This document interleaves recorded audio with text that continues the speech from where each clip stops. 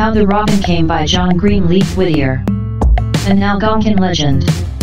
Happy young friends, sit by me, under May's blown apple tree, while these homebirds in and out through the blossoms flit about. Hear a story, strange and old, by the wild red Indians told, how the robin came to be, once a great chief left his son, well beloved, his only one, when the boy was well nigh grown, in the trial lodge alone. Left for tortures long and slow youths like him must undergo, who their pride of manhood test, lacking water, food, and rest. Seven days the fast he kept, seven nights he never slept.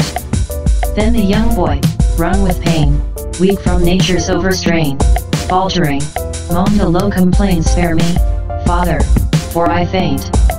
But the chieftain, haughty-eyed, hid his pity in his pride. You shall be a hunter good, knowing never lack of food.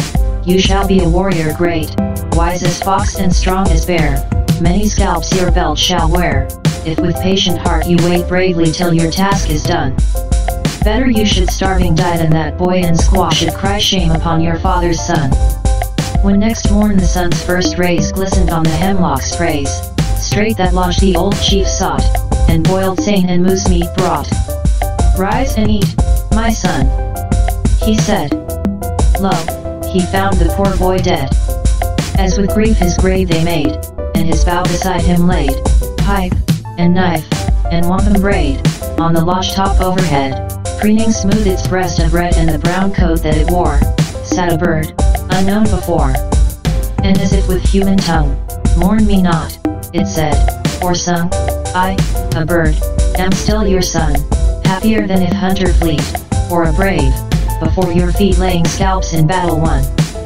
Friend of man, my song shall cheer lodge in cornland, hovering near, to each wigwam I shall bring tidings of the corning spring, every child my voice shall know in the moon of melting snow, when the maple's red bud swells, and the windflower lifts its bells. As their fond companion men shall henceforth own your son, and my song shall testify that of human kin am I.